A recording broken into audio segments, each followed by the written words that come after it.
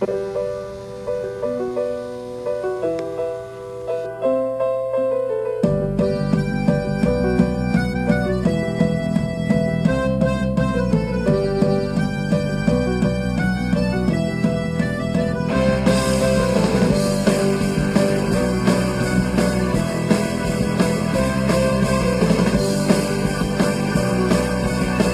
Live from the director's house in Rancho Palos Verdes, California, you're watching Falcon Wings Productions.